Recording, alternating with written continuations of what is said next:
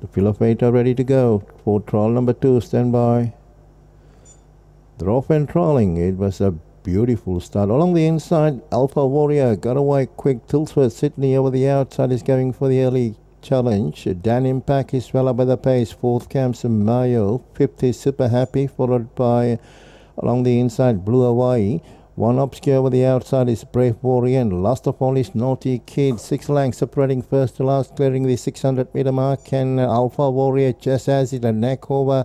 Over the outside is still Sydney. In the middle comes Mayo, then came Dan Impact. They are bunching up at the top of the straight and they are very close at the 400 meter mark. And Alpha Warrior just has it over Mayo, Tilsworth, Sydney.